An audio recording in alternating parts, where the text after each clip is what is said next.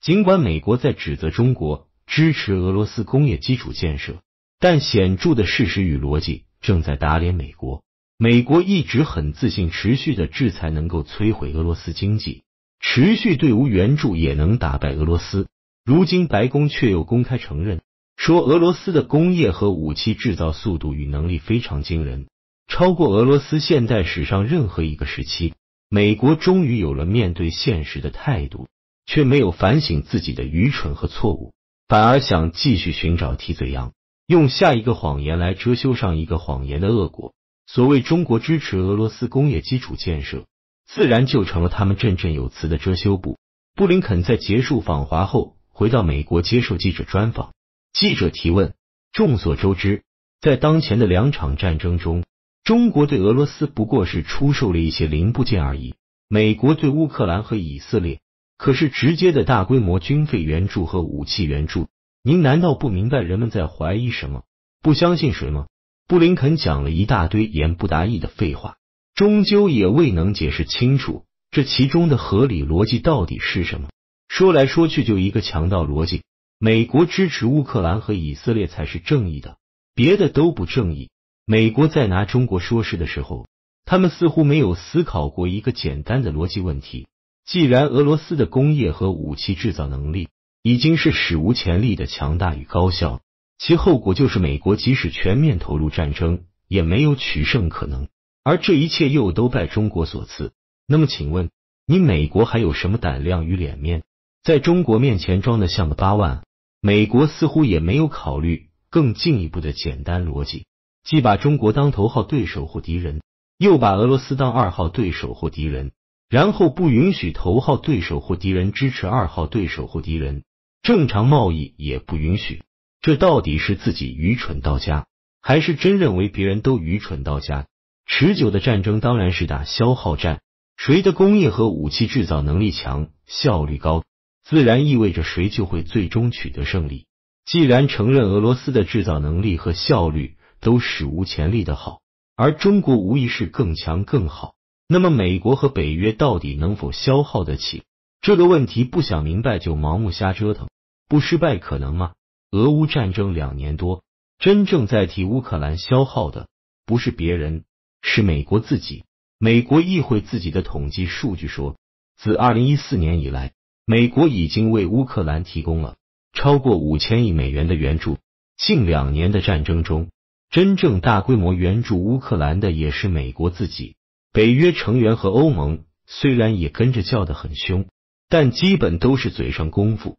真正落实的经济和武器援助其实少得可怜，竟是空头支票。各国承诺的武器不仅多为二战时期老古董，而且兑现的数量也基本都是个位数。另一方面，自俄乌战争爆发以来，对俄罗斯直接或间接贸易增长最多的，除了中国，更有欧盟国家。美国国际金融协会首席经济学家布鲁克斯一直在统计两年来各国对俄直接或间接贸易数据。结论是，欧盟国家才是对俄出口最多的经济体。这一点我在前面多次引述过，今天不妨再引一次。作为对俄战争的坚定支持者，可怜的布鲁克斯几乎天天都在发布和更新数据，天天在骂欧盟各国，天天在呼吁美国政府启动对欧制裁。布鲁克斯显然不知道的是，这世界上最希望美国轰然倒下的，绝不是俄罗斯，更不是中国。而是美国的盟友，尤其是那些所谓的铁杆盟友。道理应该也很简单：谁受美国殖民压迫最狠，谁就是最恨美国的人。太监与奴才从来都是嘴上对皇帝最忠心的人，但内心里最恨皇帝的也正是他们，因为阉割他们的正是皇帝。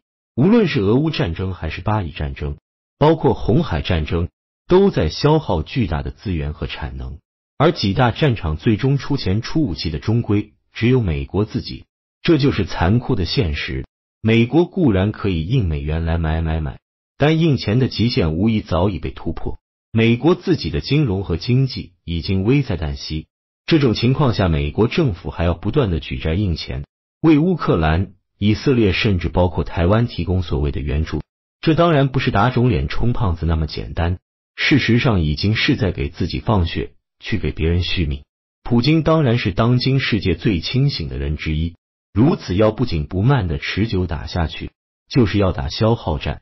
普京想要的就是打到美国被彻底耗干，然后彻底认输投降才罢休。以色列是否也是同样的套路？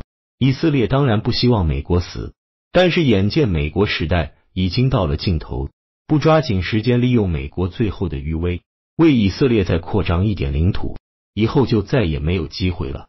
所以，哪怕是逼迫美国流尽最后一滴血，也在所不惜。这才是以色列当前的心思。那么，欧盟呢？前面的数据已经说明，对俄乌战争，欧盟和北约成员国尽管都在拼命喊打，但真出钱出力的很少，就指着美国出钱出武器。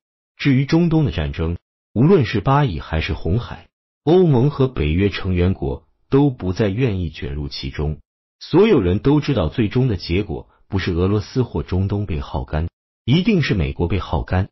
美国被耗干耗死了，欧盟和北约成员国就可以真正获得彻底解放，不用再天天听命于美国这个已经徒有其表的恶霸王。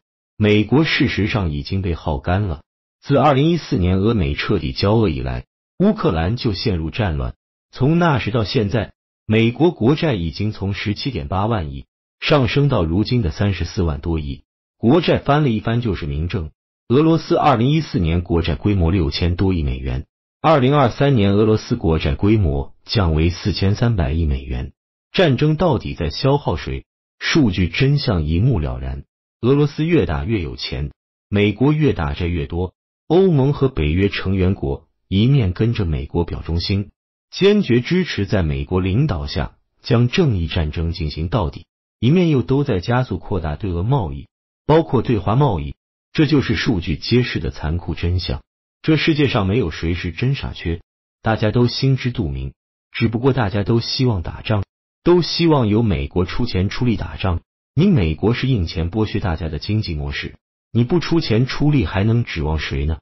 目前还只有俄乌和巴以战争，后面还会有朝鲜战争，还可能有台海战争、南海战争。欧洲只是在北约的名义下对俄乌战争喊打喊杀而不出力，对巴以战争则是敬而远之。如果东海、台海、南海再有战争，欧洲会像美国所声称的那样坚定与美国站在一起吗？马克龙刚刚发表讲话说，台湾与欧洲没有任何关系，欧洲不应该跟着美国干涉台湾问题。这已经是马克龙第二次就台湾问题明确表态了，所以大家不要相信。还会有什么北约联军或美欧盟军或联合国军真的在爆发战争？除了美国，不会再有谁跟着完了。美国其实也不是不明白，只不过要维持老大的地位与尊严，明知被架在火上烤也无可奈何，必须死要面子活受罪。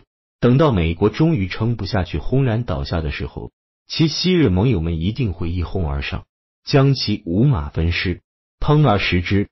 而彼时唯一能拯救美国的，一定是被他现在当作头号对手的敌人。